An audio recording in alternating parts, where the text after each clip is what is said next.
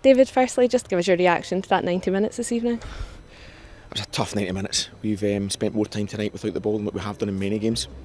Certainly, I've been involved in with the group, um, but I thought they defended really, really well. Um, obviously, there's a lot of situations in around our box. We've had to stand up, um, if not block or make tackles. Um, Jay's been called on a few times as well tonight, so I don't know what the stats is at the moment, but I think it would be quite high in terms of possession and opportunities for Hammarby. So for us to come away with a, not just a, a result, but a win tonight, um, and us through was, um, was a really, really top performance, but in a different way from probably what we normally be speaking about just now in terms of spending more time with the ball, creating lots of opportunities. That was different tonight, um, so a lot of credit to the players to deal with that.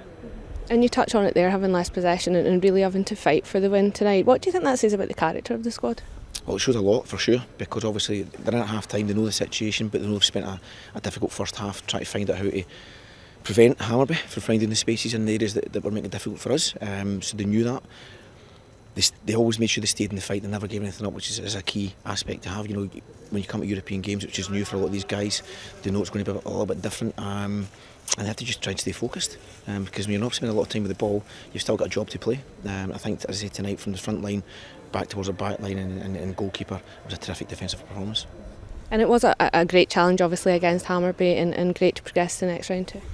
It's a magnificent reward for the guys. Um, a lot of people thought maybe I was winning 3 nothing in the first leg. Hammerby weren't a particularly good side, and nothing could be further from the truth. Um, Hammerby tonight showed that they're a top, top side, um, and our lads can be really, as I say, proud of their performance and focus and ensuring that where we could, we could play. But where we couldn't, we had to stay in the game. And uh, exciting now to go to the next round um, to play against Septemvri Sofia. It's another exciting reward. Um, obviously, it's a bit further down the line, but we will look at it closer to the time. The analyst team will start looking at what what challenges they might bring um, already. We'll do it quite early. But in the meantime, we need to start looking forward to obviously the next challenge at the weekend and obviously next week. Yeah, and you touch on that next challenge there. It's obviously on Saturday, travelling back tonight, and, and a quick turnaround for players. Is that a different thing for them to deal with too, the off the pitch side of it? Yeah, and we, we want that. So obviously, you know, if you're going to play first team at Rangers, you have to get used to travelling, you have to get used to coming back quite quickly and go back in a league game, a different environment, a different expectation. Um, so that's an exciting challenge for the guys to go and manage and deal with. Um, we'll know how that is after the game because uh, as I say, they've not travelled back. They've played home games then in terms of a home European game and then playing at the weekend, but they're travelling this time very quickly after the game. We'll heading home obviously tonight after um, we get away from here. So it's a different challenge, but as I say, this is part of their development. It's an exciting part of their development. They're you know, use the word buzzing, and they're just now, they're, they're high as kites. Uh, we have to try and manage that emotion just now and enjoy that emotion, to be fair. But once we get back tomorrow and at the training ground to recover and prepare for the game on Saturday, that's the, the next step in this journey. And lastly, just a, a quick one on Leon King. He obviously came off with, with a sore run tonight. How's he doing? Well, first I think it was tremendous tonight, along with many others in that defensive line and goalkeeper.